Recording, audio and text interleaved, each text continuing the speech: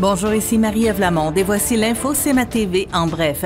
Kevin Gagné veut perpétrer la tradition du canot Atlas. Ses oncles et son père ont tous goûté à la magie du canot Atlas et Kevin Gagné a décidé de fabriquer son propre canot ce printemps avec l'aide de Raymond Lachance.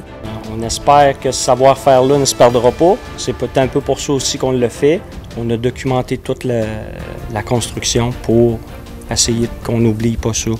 Après plus de 400 heures de travail, le canot Atlas est maintenant prêt pour son baptême qui aura lieu samedi 1er avril vers 11h dans la rue des Canotiers.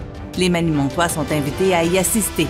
C'est vendredi soir que la Fédération des chambres de commerce du Québec dévoilait les noms de 88 finalistes de la 43e édition du renommé concours d'affaires Les Mercuriades. Les constructions HDF représenteront notre région pour une deuxième année de suite dans la catégorie engagement dans la collectivité. Une cinquantaine de représentants du secteur industriel et du secteur immobilier se sont réunis jeudi dernier 23 mars afin d'échanger sur les besoins actuels des entreprises au niveau des logements ainsi que ceux à venir à court terme. Le constat, c'est qu'il faut doter la région de 150 logements dans la prochaine année afin de répondre aux besoins grandissants des travailleurs issus de l'immigration, des nouveaux arrivants du Québec et des nouvelles familles, peu importe leur origine.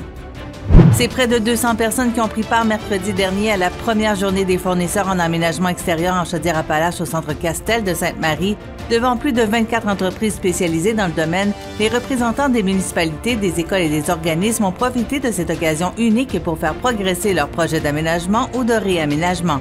Et au sport, Ligue de hockey Côte-Sud, la finale 4 de 7 débutait la fin de semaine dernière entre le Giovannina et les Mercenaires. La série est maintenant à égalité après deux parties jouées. Le prochain match se tiendra ce vendredi 31 mars au Centre Castel à compter de 20h45. Pour plus d'informations, visitez le cmatv.ca ou suivez-nous sur la page Facebook de CMATV.